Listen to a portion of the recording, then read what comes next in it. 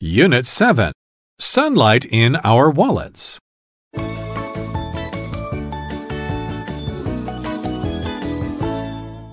Reading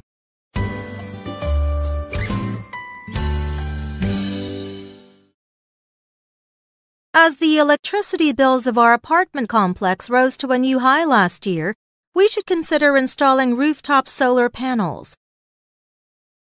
Although the upfront cost of building such a system might be huge, we can make long-term savings on our bills and build a greener community. We urge everyone to choose to go solar with us in light of energy independence, savings in energy bills, and ease of maintenance.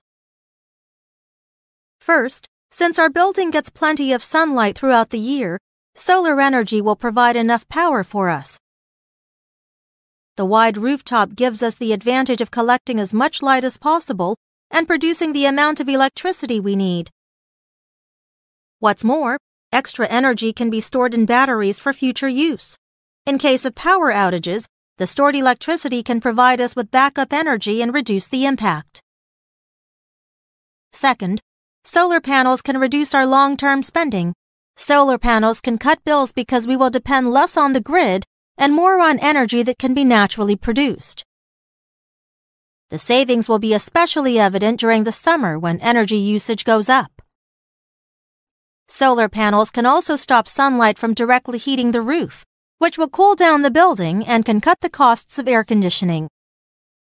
Third, we do not have to worry much about taking care of the panels. We can easily monitor the solar panel system through an app on our phones as for cleaning, a shower of rain would do the trick and clear the dust away, which increases the efficiency of the panels. Our neighboring community, which also has access to a lot of sunlight, has been running on solar energy for 10 years. Their experience of going green is a case in point. The money they saved on energy bills over the past 10 years has balanced out their upfront cost. They have now reached the goal of energy independence. In addition, the panels reduce the amount of heat that reaches the roof, and the temperature inside their building can drop as much as 5 degrees in summertime. This leads to significant savings on energy bills and makes the building more energy efficient. The community solar project will allow us to make the most of our sunlight advantage, reduce our energy costs, and get us closer to energy independence at a reasonable cost without worrying much about maintenance.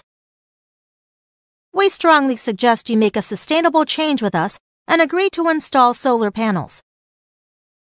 To fill you in on more details, the Building Management Committee will be holding more forums in the near future. Solar energy is definitely good for our community and also good for our wallets.